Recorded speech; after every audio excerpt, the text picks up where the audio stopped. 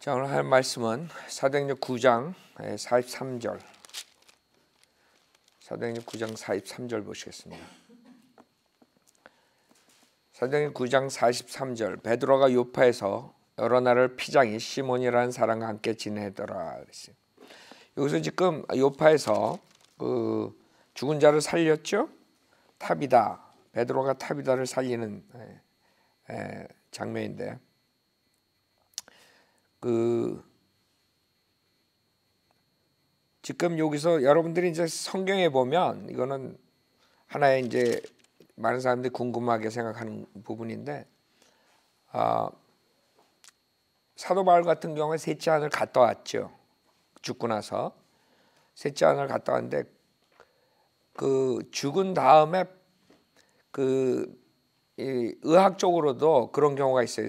죽었다가 뭐 살아났다 뭐 이런 이런 경우가 있잖아요. 그러면 그 소울이 바로 떠나가지고 뭐 지옥에 가고 뭐 하늘나라 갔었냐 이제 그런 문제들이 나오는데 여기서 그 하나님이 데려갈 때까지 그 스테이해요 소리 그런 경우가 있어요. 메디칼리 의학적으로도 그렇대요. 그래서 죽었다가 뭐 살아나는 경우 있잖아요.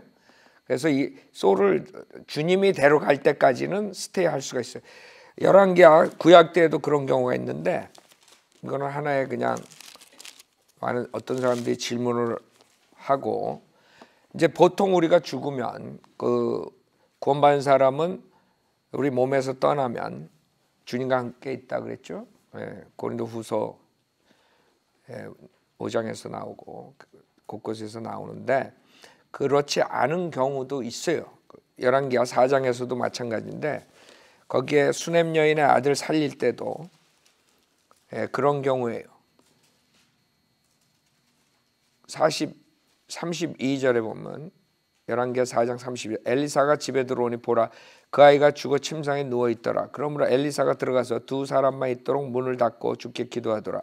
그가 올라가서 아이 위에 엎드려 자기 입을 아이의 입에 자기 눈을 아이의 눈에 자기 두 손을 아이의 두 손에 대었더라. 그가 자기 몸을 그 아이 위에 대자 그 아이의 살이 점점 따뜻해지더라. 그러자 그가 돌이켜 집안을 이리저리 거닐다가 올라가 자기 몸을 그 아이 위에 대니 아이가 일곱 번 재치기를 하고 눈을 뜨는지라 이런 경우도 마찬가지고 그래서 에, 그런 직접 사도 바울처럼 셋째 하늘에 갔다 온 사람이 있는가 하면 여기서 도르카 여기서 이런 여인들 그다음에 구약에 있었던 사람들 이런 사람들은 셋째 하늘 구경하고 왔다고 보질 않아요. 근데 그게 실질적으로 의학적으로도 그렇대요. 여러분들 그 죽었다가 뭐 하루 이틀 있다가 막 살아나는 경우 있잖아요. 그 그런 경우 그러니까 우리가 봤을 때는 하나님이 바로 데려가는 에, 하나님이 데려갈 때까지 스테이한다고 볼 수 있어요. 그런 경우들을 여러분이 생각을 해야 돼요. 자, 그 다음에 거기에서 요파에서 시몬이라는 사람과 함께 지냈을 때 요게 이제 베드로가 에, 이방인들의 그 복음의 문을 여는 그 10장이 가장 중요한 그런 장이에요. 이 장에서 예, 그 주이시들에게 복음의 문을 열죠. 주님이 베드로에게 그 킹덤을 열쇠로 준다 그랬죠. 그 킹덤 여는 게 그 유대인들에게 여는 것과 이방인들에게 여는 것 그 두 가지를 다 베드로가 열어요. 어, 주님이 복음서에서 마태복음에서 베드로에게 그것을 맡긴다고요. 자 여기서 이제 이방인들에게 그 키를 사용하게 하죠. 즉 어, 복음의 문을 열어줘요. 사도행전 10장 1절에 보면 카이사라의 코넬료라는 어떤 사람이 있었는데 이탈리아 부대라고 하는 부대의 백부장이더라. 그는 경건한 사람으로 온 지방과 더불어 하나님을 두려워하고 백성을 많이 구제하며 하나님께 항상 기도하더라. 자 여기 지금 이제 십자가 사건 뒤죠. 십자가 사건 뒤에 있는 이 상태에서 이 사람은 그, 그 당시에 그 유대교, 그 다음에 하나님, 이런 것들을 접한 사람이에요. 근데 신약 교회의 그 어, 관점에서는 구원을 받지 못한 사람이에요. 신약 교회 관점에서는 그렇기 때문에 여기에서 2절에 보면 그는 경건한 사람은 온 지방과 더불어 하나님을 두려워하고 백성을 많이 구제하며 하나님께 항상 기도하더라 그랬어요. 하나님이 기도하고 그 기도를 들어줘요. 여기서 하나님께서 그렇죠? 근데 이 사람이 구원 못 받았다는 걸 알 수 있는 게 11장 14절에 보면 11장 14절에 그가 내게 말씀을 전해 주리니 그 말씀으로 너와 너의 온 집안이 구원 받으리라 하였다는 것이라 그래요. 그러니까 그 백부장이 코넬료가 사람들을 보내서 베드로를 청하면 베드로가 와서 복음을 전하고 니네들이 구원받는다 이, 이 사건이에요. 그러니까 지금 10장 1, 2절에서 코넬료는 구원을 받지 못한 상태예요. 근데 코넬료 같은 사람들이 구원을 받을 수 있는 기회가 많은 이유가 하나님께서는 기회를 주세요. 이런 사람들한테 누구에게 에, 의를 행하려는 사람들, 에, 의를 행하려는 사람들한테 기회를 주신다고요. 여기 이 백부장의 특징이 뭐냐면 이 절에 경건하죠. 그 다음에 하나님을 두려했죠. 그 다음에 백성을 많이 구제하며 항상 기도하고 그 다음에 22절에 보면 그들이 말하기를 백부장 코넬료는 의인이요. 그 다음에 하나님을 두려하는 사람이며 또 온 유대 민족에게 좋은 평판이 나 있는 사람인데 그 주님께서 그런 기회를 주세요. 그 로마서 2장에 보면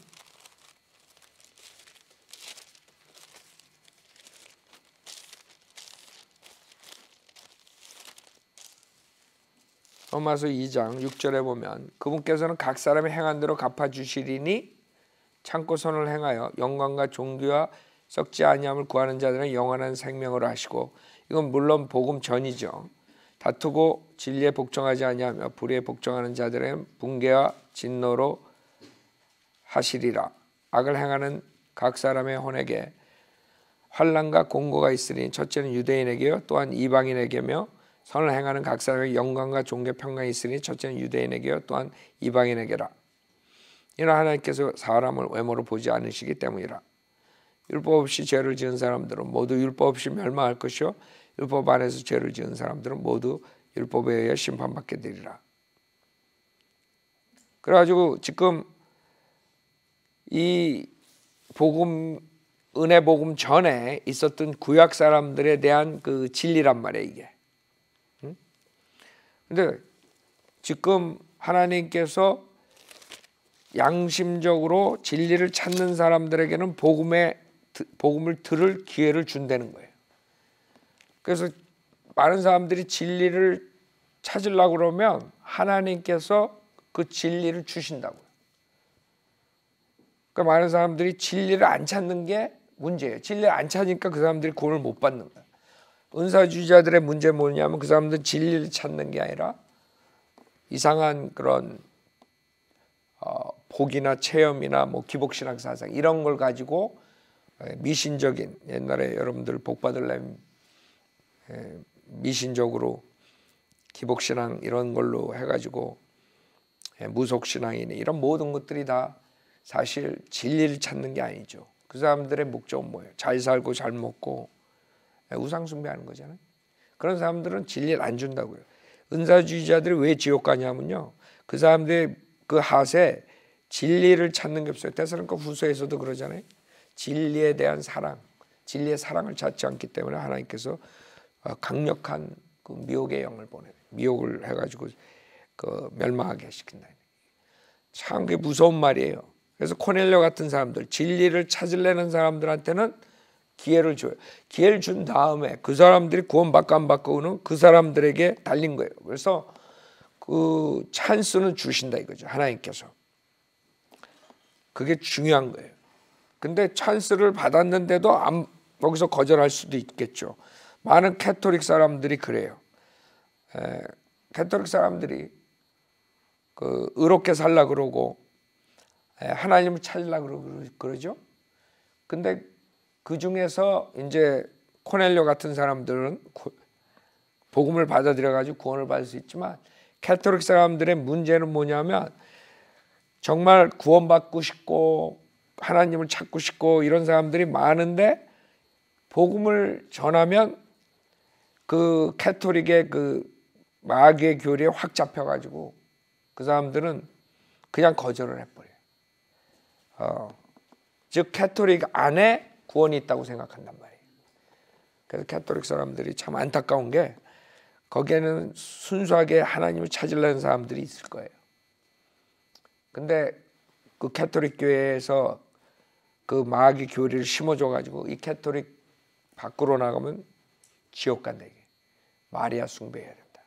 그 다음에 그런 종교적인 의식 이런 걸로 확 잡아가지고 그 사람들이 하나님께서는 복음의 기회를 주어요. 왜? 진리 찾으려 그러니까. 근데 지네들이 막아. 그 캐토릭에서 와가지고 구원받는 사람들도 여러분 있죠.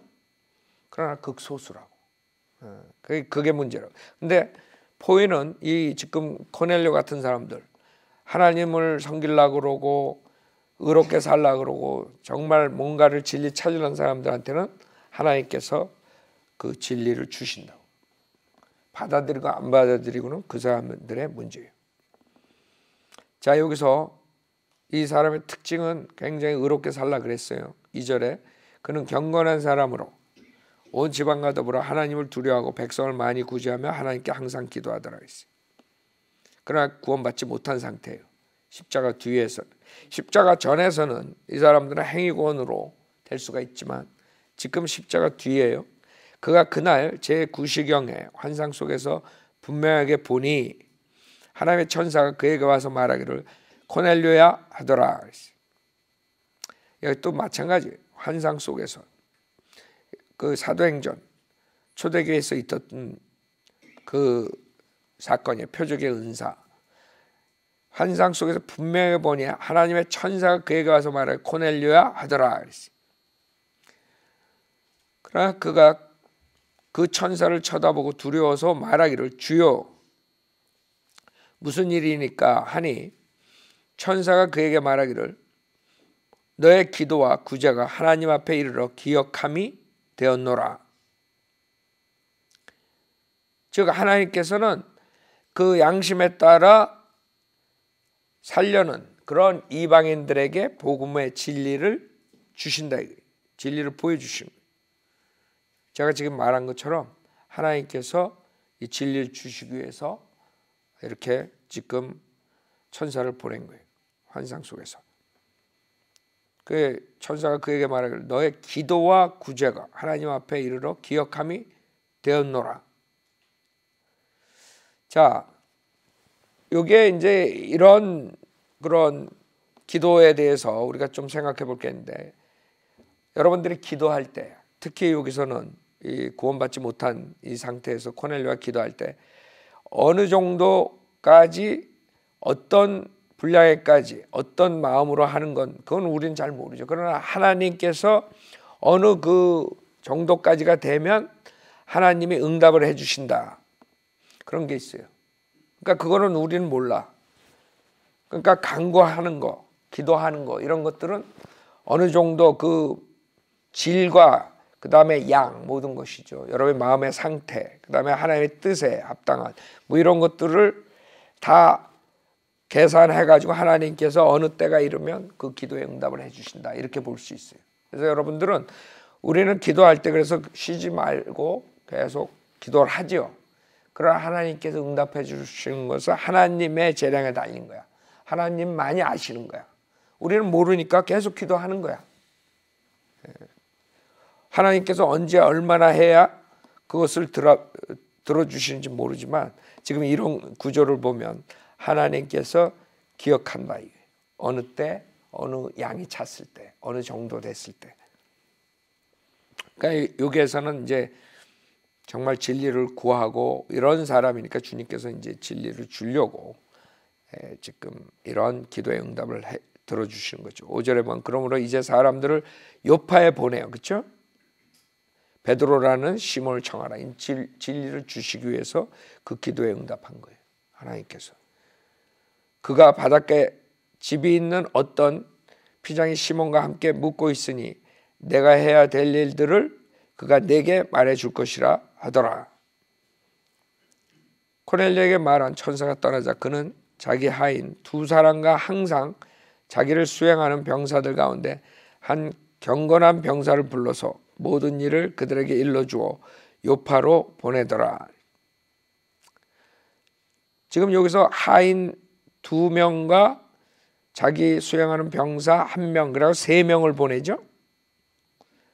예, 근데 참 인트레스한 게 19절, 19절에 보면 베드로가 그 환생에 관해 생각하고 있는데 성령께서 그에게 말씀하시고 보라 세 사람이 너를 찾으니 그랬죠. 그 세 사람이 너를 찾으니를 두 사람으로 변개시켰어요. 변개된 성경은 그래서 개혁 성경을 보면 두 사람이에요. 그러니까 성경을 이상하게 모순되게 만들어 버렸어요. 그 이유는 여러 가지가 있겠지만 첫째 여기서 세 명과 그 다음에 그 가는 사람들이 요게 그 코넬료 집에 가는 사람들이 베드로하고 다 합해서 열 명이 가요. 그래가지고 그걸 어떻게 하냐면 사도행전 11장 12절에 그때 성령께서 내게 말씀하시기를 아무것도 의심하지 말고 그들과 함께 가라고 하시기에 이들 여섯 형제도 나와 함께 갔고 그러니까 여섯 명에다가 베드로와 그 다음에 세 사람 한 몇 명이 가요? 열 명이 가죠.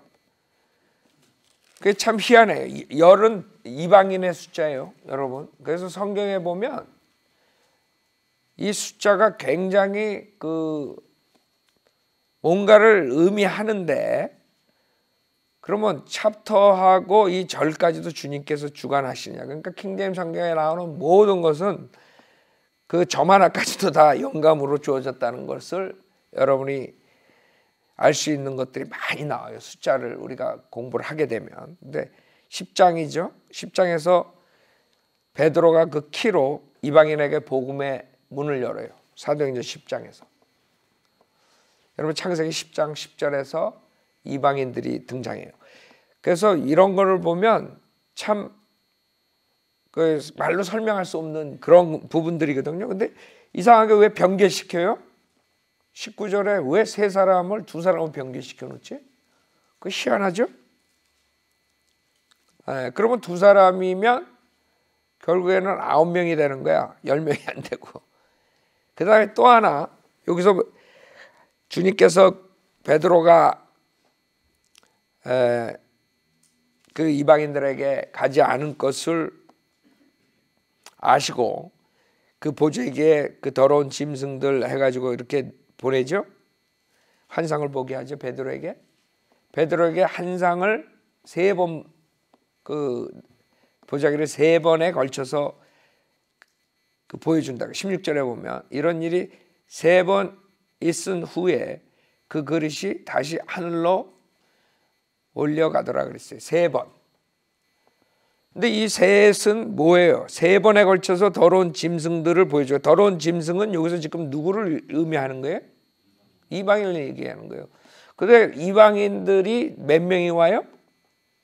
세 명이 온다고요. 그러니까 이런 모든 것들이 그 하나의 진리를 여는 건데 그 19절을 변개시킴으로써 이런 걸 다 막아버리니까 거기는 두 명이 오잖아요.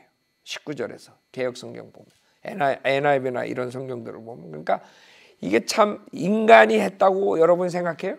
제가 항상 변개시키는 걸 그 보면요 이건 절대로 인간이 할 수 없는 거야. 이거는 이건 분명히 마귀가 손을 대는 거예요. 그래서 우리가 마귀가 변개시켰다 그러니까 이게 팔짝팔짝 뛰는 거예요. 여러분 변개시킨 거 보면요 희한한 것들 변개 많이 시켜요. 제가 언제 이제 성경을 가리키면서 변개된 걸 가끔 가다가 얘기를 하잖아요. 그러나 그거는 일부분이야. 시간이 제가 더 있으면 그 가리키면서 그 구절구절 그 변개된 걸 보면 여러분 깜짝깜짝 놀란다고요. 이렇게 변개가 많은 거예요.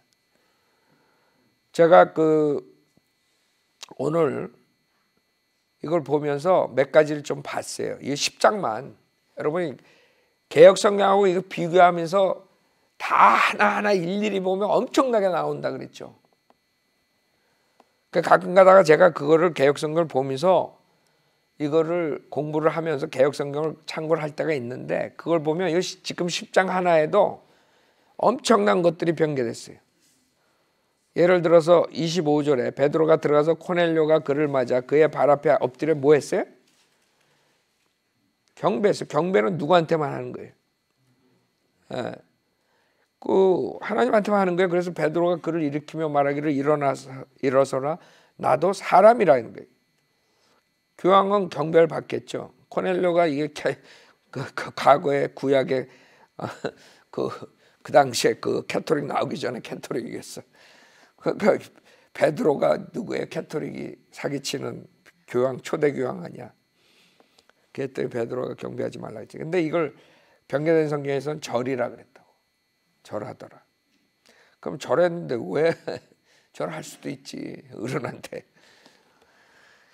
그것뿐만 아니라 30절에도 코넬료가 말하기를 나흘 전 이 시간까지 내가 금식하고 제 구시에 내 집에서 기도하고 있었는데 그랬는데 거기도 병개된 성경 금식이 없어져 버렸어요. 금식이 없는 거야. 그러니까 하여간에 여러분들이 개혁 성경하고 킹제임 성경 여러분 한번 시간 나시면 한번 보라고요. 저는 일일이 그거 다 하면은 시간이 너무 오래 걸리니까 안 하는데 언젠간 내가 여러분한테 한번 그렇게 한번 한다 그랬죠. 그래서 중요한 거 외에는 내가 그냥 넘어가는데 요 10장만 내가 한번 봤어요. 오늘.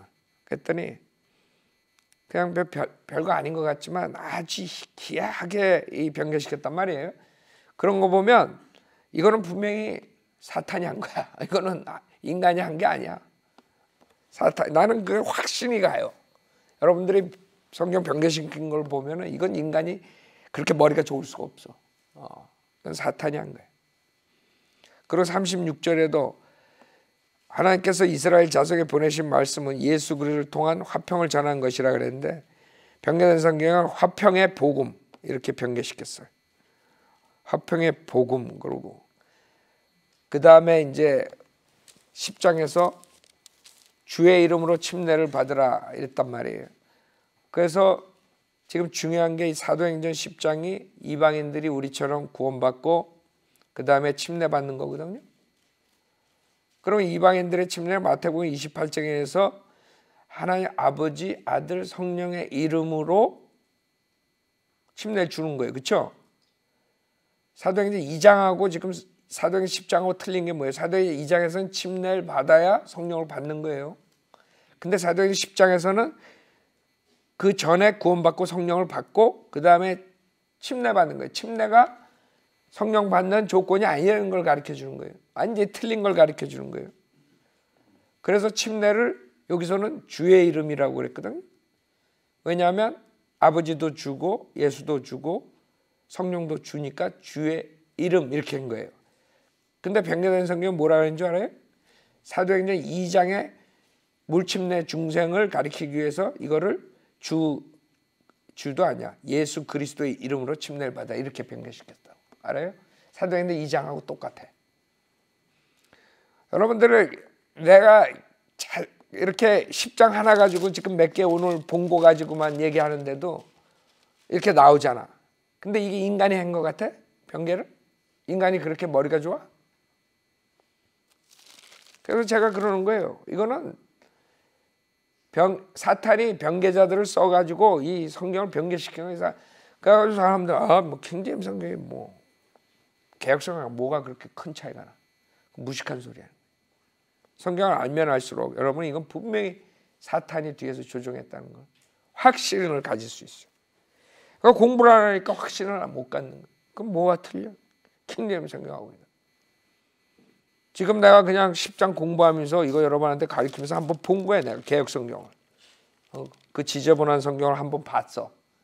그랬더니 그냥 뭐 조금 보는데 이렇게 나오는 거야.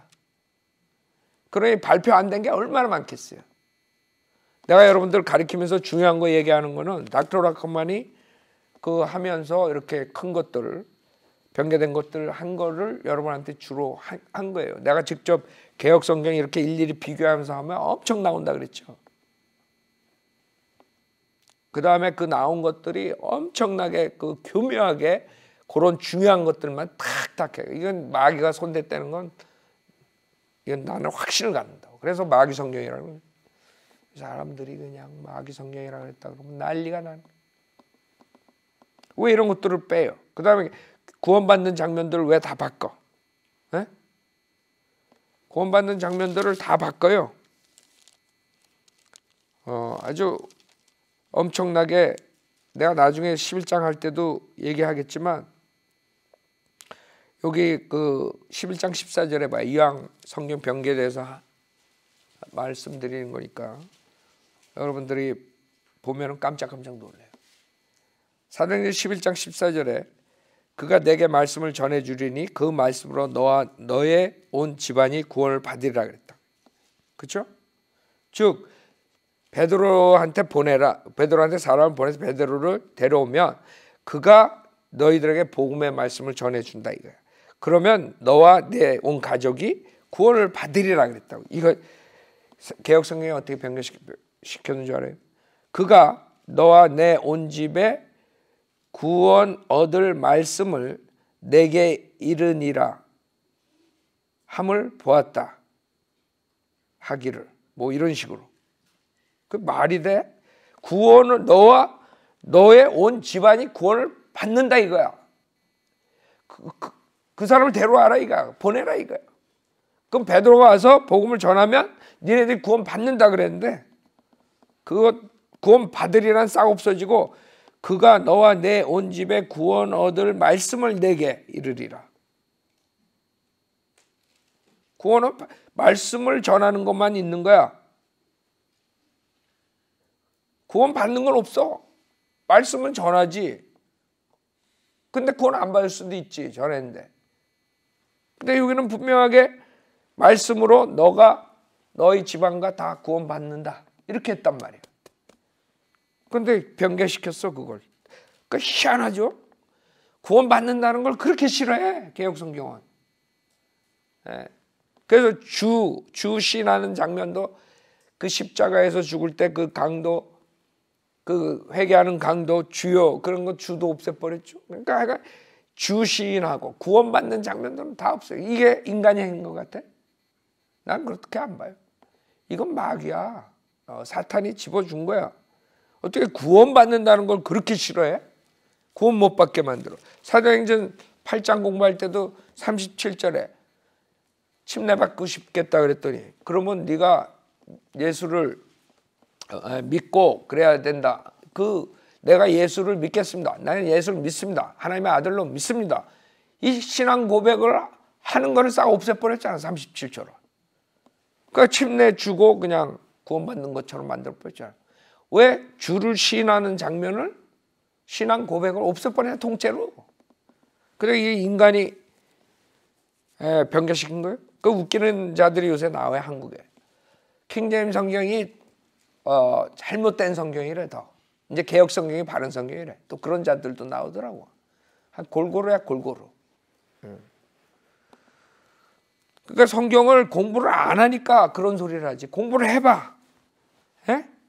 왜 개혁 성경은 구원 받는 장면만 다 없애버리고 그 다음에 구원 받는다는 것을 싫어하고 그 다음에 예수의 신성을 다 깎아버리고 왜 행위 구원 쪽으로 말을 바꾸고 근데도 킹제임 성경이 잘못되고 옛날에는 그러지 않았어요. 옛날에는 킹제임 성경이 가장 잘 번역된 성경이지만 개혁 성경도 좋다. 다들 괜찮다. 뭐 이렇게 했어요. 그렇죠? 근데 요새 거꾸로야.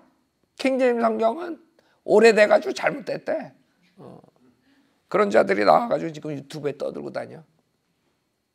한국 어, 그 목사들 중에 킹제임 성경에 대해서 뭐 비판하는 자들이 나오더라고. 근데 그런 헛소리 하고 있어요. 그런 자들은 사도행전 10장만 읽어도 답이 나올 텐데. 네? 저는 그냥 한번 가끔 가다가 개혁 성경이 얼마나 이 킹제임 성경하고 틀렸나 한국 개혁 성경이 한번 가끔 가다 봐요. 그 일일이 예, 내가 보면은 엄청 나올 게 나온다고 내가 말씀드렸죠 저번 때도 한 번 과거에도 몇 번 내가 그렇게 본 것들에 대해서 내가 가끔 얘기를 했는데 여러분 놀래요. 기가 막히게 변개시켰다고. 그건 인간이 할 수가 없어. 그런 것들만. 왜 금식이라는 단어를 없애버려? 에? 뭐 이상하잖아.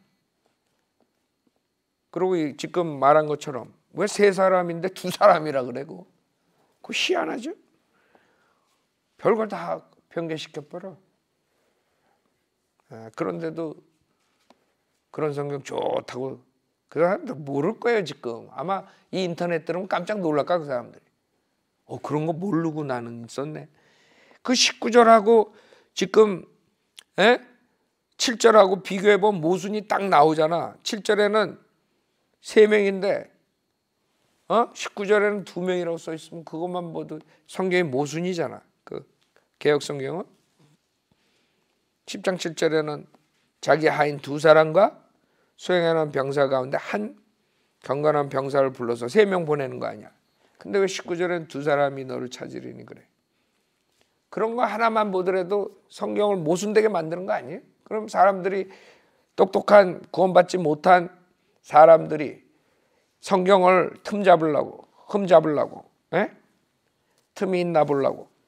이런 거 해가지고 따지면 뭐라 그럴까 그 개혁 성경 할말 없지 뭐. 그쵸? 7절에는 3명인데 왜 19절에는 2명이냐. 그러니까 그 사람들이 지는 거예요. 구원받지 못한 학자들한테. 성경을 변경시켜. 그런 것도 지금 모를 거라고 자 다시 7절에 코넬리에게 말한 천사가 떠나자 그는 자기 하인 두 사람과 항상 자기를 수행하는 병사들 가운데 한 경건한 병사를 불러서 모든 일을 그들에게 일러줘 요파로 보내더라. 그 다음 날 그들이 계속 길을 가다가 그 성읍에 가까이 왔을 때 베드로가 제6시경에 기도하려고 지붕 위로 올라갔는데 몹시 시장하여 먹고자 하더니 집 사람들이 음식을 준비하는 동안 그가 무아지경에 빠져 하늘이 열리고 또 이 구절 가지고 한국 사람들 자기네들이 무아지경에 빠져가지고 환상을 봤다는 그런 헛소리도 한다고. 아 참. 예, 하늘이 열리고 어떤 그릇이 그에게로 내려오는 것을 보니 마치 내 길을 맨 큰 보자기 같은 것이 땅 위에 내려오는데 그 안에는 땅에 있는 갖가지 네 발 짐승들과 들 짐승들과 기어다니는 것들과 공중에 새들이 있더라. 그런데 한 음성이 그에게 들리기를 베드로야 일어나서 잡아먹으라 하더라. 베드로가 말하여 주여 그럴 수 없나이다. 나는 결코 속되거나 불결한 것을 먹은 적이 없나이다 라고 하니 그러니까 여기서 중요한 게 나와요. 우선 베드로는 아직까지도 율법 속에 있는 거예요. 그렇죠? 십자가 사건에서 율법이 거기서 구원에 관한 하는 끝난 거예요. 폐기됐어요. 그렇죠? 그러니까 이게 사도행정을 푸는 키예요. 사도행전은 점진적이야. 사, 베드로가 율법을 아직까지도 생각하고 있는 상태란 말이에요. 그렇다 그래서 율법이 폐기됐어요? 구원에 가난하는 폐기가 됐다고 어디서? 십자가에서 단지 몰랐던 거야. 사도행전 2장에서 사도행전 10장 이전까지 이 사람들이 개고기를 갖다가 먹으면 돼야 안 돼요? 되지. 십자가 사건 다음에는 아 개고기를 해서 안 되나? 그럼 고양이 고기 해볼까? 아니 랍스터 하지. 랍스터 먹어도 돼야 안 돼요? 돼지 십자가 뒤에는. 디모데 선생 뭐라 그래요? 우리가 감사함으로 먹으면 모든 걸 다 주님께서 주신 거야. 그렇죠? 감사함으로 먹으면 주님께 성결해 주시고 다 먹으면 돼. 디모데전서 4장 4절 보세요. 그게 십자가 후에 우리가 사는 방법이에요. 여러분이 그러지 않으면 지금 내일 당장 냉장고에 있는 새우 다 버리라고. 랍스터 다 버리고. 자, 봐요. 십자가 다음에는 우리는 그 더러운 짐승 구약에서 레위기에서 말한 그런 더러운 짐승들 못 먹고 그러는 게 아니에요. 다 먹어요. 디모데 전서 4장 4절에 하나님께서 지으신 것은 모두 왜?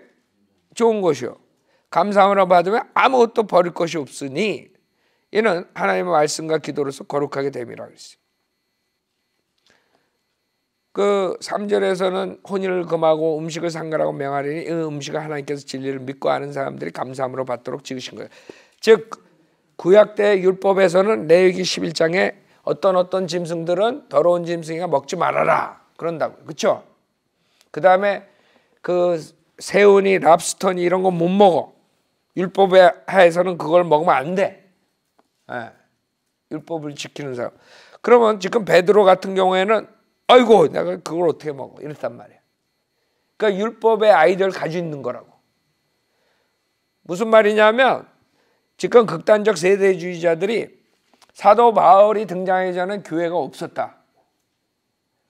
교회는 어디서부터 열릴 수가 있어요? 십자가라고. 십자가서부터 열리는 거예요. 단지 사람들이 모르는 거야. 몰랐다 그래서 교회가 없었어요? 아니지. 사도 바울 전에도 교회는 그리스도의 몸은 있었어. 단지 그리스도의 몸에 대한 신비는 몰랐어. 모른다 그래서 그리스도의 몸이 없었던 건 아니에요. 사도 바울이 자기 전에 그리스도의 몸 안에 있었던 자들이 있다 그래요. 그렇죠? 그렇기 때문에 사도 바울 전에 전혀 없었다. 그리스도의 몸이 없었다. 이렇게 말하는 자들이 극단적 세대주의자들이라고. 우리는 극단적 세대주의가 지금 한국의 무식한 자들을 우리 보고 극단적 세대주의자래. 그 자들은 극단적 세대주의가 뭔지도 몰라. 극단적 세대주의자들은 회개도 없고 그 다음에 기도도 없고 침례도 없고 다 없어요. 걔네들은. 그게 극단적 세대주의자야. 그래서 그 극단적 세대주의자들이 틀렸다는 거예요. 사도행전은 그렇게 풀면 안 돼요. 딱딱 잘라가지고 어, 사도 바울이 그리스도의 몸에 대해 신비를 계시했으니까 그 전에는 없었다. 그리스도 이렇게 되면 안 돼. 사도 행전은 점진적으로 봐야 돼. 비록 십자가에서 모든 게 오픈됐지만 아직까지 베드로랑 사도들은 모르는 거야 그거를. 아직까지도 더러운 짐승은 못 먹는 걸로 아는 거야. 그래서 여기서 나는 그거 못 먹겠다는 거야. 하나님한테 그것도 생각해봐요. 베드로는 하나님한테 맨날 무식하게 대들어. 예수님이 뭐라고 안 돼요. 뭐. 그게 베드로의 특징이야. 근데 베드로가 순수한 마음으로 하는 거예요. 머리가 좀 나빠서 그렇지. 어, 순수한 마음으로 거야. 나는 율법, 하나님 명령, 하나님 명령. 예수님이 내가 이제 십자가 사건 간다 했다. 아니에요, 안 돼요. 순수한 마음으로 거야. 단지 하나님의 이 말씀을 좀 몰라서 그래. 이게. 공부를 안 해가지고 머리가 좀 띵해가지고 어. 그래서 여러분들 알아야 되는 건 지금 주님께서 그거를 베드로한테 깨우치게 하는 거예요. 이제는 십자가 뒤에는 니네가 다 먹어도 돼. 그것을 뭐를 얘기하는 거예요? 이 더러운 짐승은 이방인들을 상징하는 거예요. 이제는 이방인들도 복음을 주겠다 이거예요. 그거를 이거예요. 왜? 유대인들은 이방인들은 복음 성령이 안 오는 줄 알았어. 성령 안 주는 줄 알았어. 회개를 주님께서 안 주는 줄 알았다. 그것을 지금 깨우치게 하는 거예요. 지금 베드로는. 근데 베드로가 안 먹겠다고 그런다고. 난 그럴 수 없다. 내가 어떻게 속되거나 불결한 걸 먹을 수 있니? 15절에 음성이 다시 두 번째 그에게 이르기를 하나님께 깨끗게 하신 것을 그렇죠? 하나님께 깨끗게 하셨다 이거예요. 내가 속되다고 하지 말라. 그러니까 경륜이 틀려졌다 이거예요. 근데 베드로는 경륜을 몰라. 어, 지금 목사들처럼 경륜을 모르면 성경을 풀 수가 없는 거야. 이제 경륜이 틀려졌어. 이제 율법에서 니네가 그 더러운 짐승들 못 먹게 하고 그런 것들 금지된 짐승 이제는 내가 깨끗게 했어. 그걸 속되다고 하지 마라. 그걸 얘기하는 거죠. 16절에 이런 일이 세 번 있으로 세 번씩이나 그랬대. 그 그릇이 다시 하늘로 올라 올려 가더라 그랬어요. 그래서 돼지고기 먹는다 난리가 나는 거야. 어, 베드로는 어떻게 그런 불결한 걸 먹냐? 삼겹살, 삼겹살 가져와 봐라. 그러고 있었던 거야. 하나님이 삼겹살 먹어도 돼. 내가 깨끗게 했어. 그걸 속되다고 하지 마 이제. 이제는 경륜이 바뀌었어. 정신 차려. 이제는 이방인들도 복음을 줬어. 이방인들도 내가 성령을 줄 거야. 그거 지금 얘기하는 것이 10장에서 이방인들에게 회개를 준다. 이, 이것을 주님께서 베드로한테 보여주고 베드로를 이용해서 그 이방인들에게 복음의 문을 열게 하는 거예요. 이해가 가요? 예, 그래서 거기서 이제 또 한 번의 성령의 임재함을 보고 그래서 방언이 다시 한번 나오는 거예요. 왜? 유대인들은 방언, 표적의 은사가 있어야지 믿어. 아, 이 이방인들에게도 하나님께서 그 성령을 주시는구나. 안 믿어 안 보여주면. 그래서 방언이 나오는 거예요. 지금 어? 1900년에 나온 이 마귀의 방언하고 틀린 거야. 주는 목적이 있고 그 당시에 표적의 은사는 주이시들에게 준 거예요. 주이시들이 믿게 하기 위해서. 이, 이 사람들이 그 코넬료 가족들이 거기에서 그 방언을 하지 않았으면 안 믿었다고. 성령이 온 걸 안 믿었어. 어떻게 알아? 성령이 왔는지 안 왔는지. 그러니까 그래서 방언을 거기서 주님께서 주시는 거예요. 여기서 깨끗하다가 한 거는 구원받았다는 말이 아니에요. 구원받았다는 게 아니라 주님께서 sanctify 이제 에, 예를 들어서 고린도 전서 7장에서도 그런 말이에요. 구원받은 사람이 구원받지 않은 그 남편하고 살 때 그 가족을 주님께서 sanctify 시켰다 그래, 그런 말 해요. 그거는 고린도전서 7장 보세요. 구원받았다는 거랑 또 틀려요. 고린도전서 7장 14절에 고린도 전서 7장 14절에 이는 믿지 아니하는 남편이 그 아내로 인하여 거룩하게 되고 그렇죠? 믿지 않는 아내도 그 남편으로 인하여 거룩하게 되기 때문이라. 그렇지 않다면 너희 자녀도 깨끗하지 못하니라. 그러나 이제는 그들이 거룩하니라. 이 거룩하다 sanctify라는 단어는 구원받았다는 단어가 아니에요. 그 믿는 그, 상, 그 남편이나 아내 때문에 다른 사람들 그 가족을 전체적으로 하나님께서 set apart 했던 거예요. 따로 주님께서 그 respect 한다 이거예요. 구원 다 구원 그냥 남편이 구원 받으면 아내도 자동으로 구원 받는 걸 그걸 말하는 게 아니라고. 그 와이프가 구원 받았으면 그 와이프로 인해서 하나님이 그 가족을 separate 시킨다는 뜻이에요. 그렇게 존경해 준다 이거야. 알았죠? 그거랑 마찬, 마찬 가지. 지금 여기서도 에, 그 짐승 더러운 짐승들을 주님께서 깨끗게 하셨다 그랬죠? 그것을 이방인들을 주님께서 깨끗게 하셨다는 뜻이거든요. 그렇다고 이방인들을 다 구원시켰다는 말이 아니에요. 이방인들은 이제 하나님께서 세퍼레 시켜가지고 구원을 줄 기회를 주신다는 거예요. 아셨죠? 찬스를 준다는 거예요. 자, 여기까지 하죠.